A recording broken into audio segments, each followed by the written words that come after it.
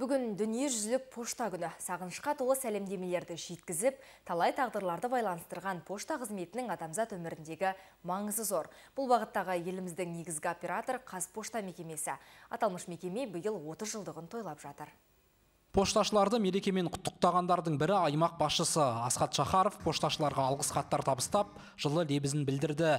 Бұл салада 800-ге жуық адам қызмет етеді. Солардың бірі Нұргүл Қарамұрзина. Мен Қазпошта саласында 20 жылдай қызмет жасап жатырмын. Көптеген қызықты да, қиынды да шақтарды басымыздан өткіздік.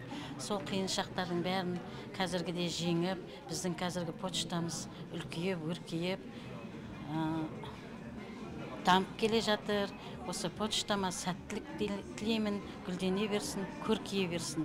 Тағы да мерекеміз құтты болсын. Арагідік пошта ескірген қызмет түрі деген пікір айтылады. Бірақ мамандар мұнымен келіспейді. Сәлемдеме жеткізуге сұраныс тұрақты. Қызметтер де жаңарды. Бүгінде пошта тек сәлемдеме жеткізуші емес қаржылық қызметтер көрсетуші және банк пен халық арасындағы агент. Сұраныстың көптігінен пошта ауқымы кеңейіп келеді. Біз ақтөбе өңіріндегі ақтөбе облыстық әкімдігімен осы өңірде үлкен жаңадан инновацион инновациялық почта хабын салуды көздеп отырмыз.